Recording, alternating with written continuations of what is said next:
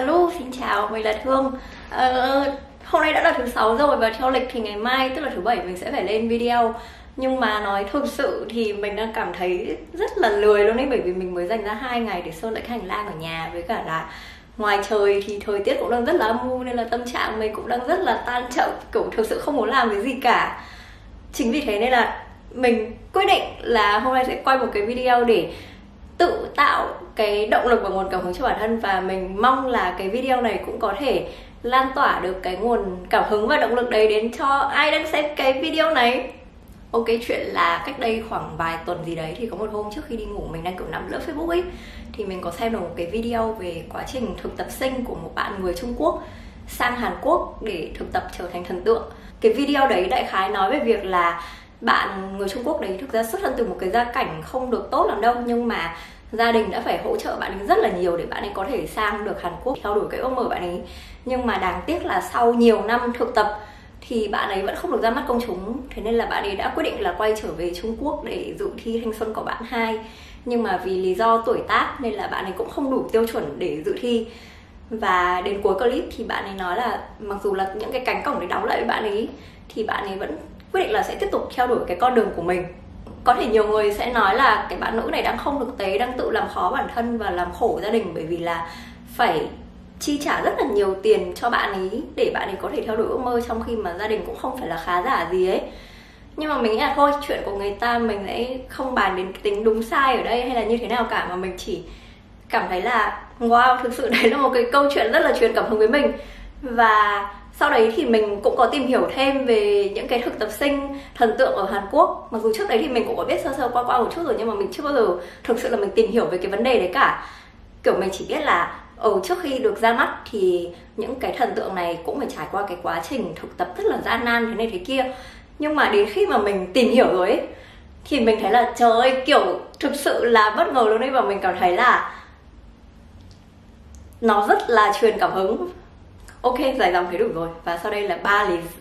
ba lý do mà mình nghĩ là tại sao bạn và bất cứ ai cũng nên sống như một thực tập sinh thần tượng Hàn Quốc. Thực ra đặt như vậy thì mình cũng không biết là có đúng hay là hợp lý không nữa, bởi vì ý của mình không phải là bạn nên giống người ta ở cái khoản là cùng theo đuổi cái con đường đam mê đấy, hay là về đạo đức các thứ như thế thì mình không nói, mà ý của mình là về cái thái độ sống ấy. Ok, bây giờ thì mình sẽ bắt đầu luôn. Thì mình có một câu hỏi muốn dành cho bạn. Đấy là năm 15 tuổi, bạn đang làm gì? Còn mình thì năm 15 tuổi, mình đang bắt đầu học cấp 3 và lúc đấy thì hàng ngày chỉ có đi học, xong rồi bạn bè rồi về nhà. Xong rồi cảm thấy là, ở thế giới kiểu quanh quẩn cũng chỉ có trường học với cả nhà thôi, kiểu đi đi về về hai cái nơi đấy. Và thực sự là không phải lo nghĩ quá nhiều cho tương lai ấy nhưng mà đối với cả những cái thực tập sinh K-pop thì từ năm 15 tuổi, hay là thậm chí có rất nhiều người là sớm hơn và cũng có rất là nhiều người muộn hơn, nhưng mà thôi mình cứ lấy số 15 để là một cái con số trung bình đi. Thì họ đã bắt đầu hành trình của mình rồi. Và chính vì thế nên là mình cảm thấy rất là ngưỡng mộ, bởi vì từ khi còn rất trẻ như thế, họ đã có thể sớm xác định và định hướng được cái con đường của mình. Ok, nhận luôn thì chắc chắn là mình rất là lười và có thể bạn không giống mình. Nhưng mà hiện nay thì mình đã 25 tuổi rồi và nói thật là mình nhiều khi mình còn không biết được là cái đam mê và mục tiêu của mình thực sự là cái gì ấy. Kiểu mình cũng không thể nào tưởng tượng được là liệu trong tương lai kiểu 2 hay là 5 năm nữa liệu cái công việc của mình sẽ như thế nào. Bởi vì, vì mình cảm thấy là mình rất là hay thay đổi. Kiểu ví dụ mình thích một cái gì đấy và sau một thời gian thử trải nghiệm và mình có thể là mình cảm thấy không phù hợp hay là không đi đến đâu cả thì mình sẽ thay đổi cái mục tiêu của mình. Chính vì thế nên là mình cảm thấy rất là ấn tượng với cả những cái bạn thực tập sinh có thể sớm xác định được cái đam mê của mình mà không chỉ thế, các bạn ấy còn quyết tâm, kiên trì, nỗ lực theo đuổi đam mê với một cái ý chí cực kỳ bền bỉ. Có khả năng hay là ngoại hình sáng là một chuyện nhưng mà để trở thành một thực tập sinh K-pop ấy thì cực kỳ khó và cái con đường mà trở thành một thần tượng được ra mắt công chúng thì còn gian khổ hơn rất là nhiều. Theo như mình tìm hiểu thì các bạn thực tập sinh phải bắt đầu một ngày từ rất là sớm và kết thúc một ngày cực kỳ muộn. Bởi vì trong ngày thì sẽ dày đặc những cái lịch trình tập luyện vũ đạo, ca hát, thanh nhạc. Rồi bên cạnh đấy thì cũng phải trau dồi thêm văn hóa cũng như là những cái kiến thức khác. Ở đây mình muốn đưa ra một vài ví dụ. Jennie của Blackpink thực tập mất 6 năm, Seogi của Red Velvet thực tập mất 7 năm, Johnny của NCT thực tập mất 8 năm và G-Dragon của Big Bang mất 5 năm ở SM và 6 năm ở YG tức là 11 năm mới được ra mắt công chúng thực sự đối với mình thì đấy là một cái quãng thời gian nó quá dài đúng không? và mình không thể nào tưởng tượng nổi là mình có thể quyết tâm theo đuổi một cái thứ gì đấy trong một quãng thời gian dài như thế và trong suốt cái thời gian thực tập sinh đấy thì cũng giống như là tất cả những cái thực tập sinh khác, họ không thể nào biết chắc chắn 100% là mình liệu có được ra mắt công chúng hay không, hay là liệu bao giờ thì mình mới được ra mắt, hay là thậm chí có những người mà gần đến ngày ra mắt công chúng rồi còn bị hủy kèo, kiểu cảm thấy là cái việc được ra mắt công chúng nó rất là mong manh ấy nhưng mà những cái rủi ro tiềm ẩn đấy không hề khiến họ nản chí mà vẫn tiếp tục ngày ngày cố gắng luyện tập và đặt rất là nhiều tâm huyết vào đấy với niềm tin và hy vọng rằng đến một ngày những cái nỗ lực của mình sẽ được đền đáp một cách xứng đáng và kiểu wow của mình thực sự mình rất là ngưỡng mộ luôn ấy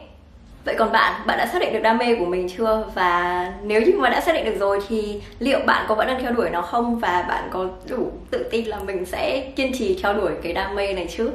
Lý do thứ ba mà mình muốn nói đến chính là khả năng thích ứng, tính kỷ luật và chịu áp lực cực kỳ cao bởi vì ngoài cái việc phải thích ứng và chịu áp lực từ cái lịch trình luyện tập rèn luyện dày đặc kia thì các bạn ấy còn phải rời xa gia đình và bước vào sống trong nhà chung với cả rất là nhiều người lạ khác. Và cũng rất là bị hạn chế cả cái việc giao tiếp ở bên ngoài. Song song với đó là đi kèm với việc phải kiểm soát ngoại hình và cân nặng của mình nữa. Đối với mình, một người bình thường thì cuộc sống như thế nó cực kỳ bị áp lực và căng thẳng luôn. Và nếu là mình thì mình cũng không biết là mình có chịu được không, bởi vì hàng ngày thì rõ ràng là đã bị rất là nhiều áp lực của ngoài xã hội kiểu ập vào mặt rồi, mà bây giờ kiểu còn thêm rất là nhiều cái trách nhiệm kia nó đập vào mặt nữa. Kiểu mỗi ngày thức dậy đều phải cố gắng nỗ lực hết sức để trở thành một cái phiên bản tốt hơn của chính bản thân mình, cả về kỹ năng lẫn ngoại hình, bởi vì nếu không thì có thể bị đá ra khỏi công ty bất cứ lúc nào, và cái con đường để dẫn tới thành công và thực hiện mơ ước nó sẽ bị xa hay là chậm hơn ấy sau đến lúc đi về thì phải sống chung với cả những cái người lạ khác. Ok, có thể là sẽ có những cái tình bạn ở đây, nhưng mà chúng ta không thể phủ nhận được rằng thứ nhất, sống chung với người lạ. Rất nhiều người lạ, nó cực kỳ khó. Và thứ hai là tất cả đều là đối thủ cạnh tranh cho những cái vị trí hiếm hoi để được ra mắt công chúng.